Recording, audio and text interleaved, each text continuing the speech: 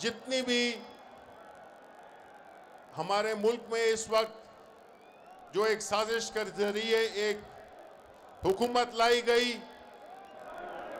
یہ وہ سازش تھی جس سے کہ اس ملک کے ایک خوددار، نڈر، محب وطن، ایماندار لیڈر کی حکومت کو برطرف کیا گیا اور ایک ایسے لوگوں کو لایا گیا جن کے کرپشن کے چرچے دنیا بھر میں مشہور ہیں، جس پہ کہ کتابیں بھی لکھی گئی ہیں اور جس پہ فلمیں بھی بنی ہیں۔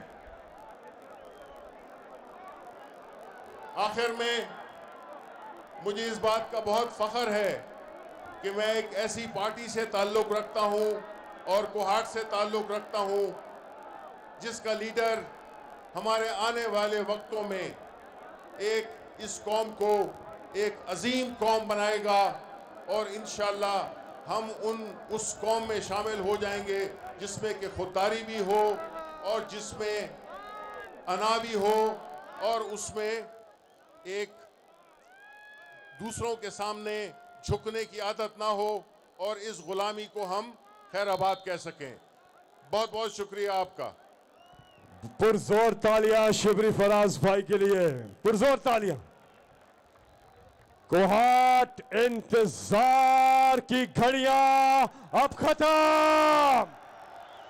عمران خان صاحب، یہاں تشریف لا چکے ہیں۔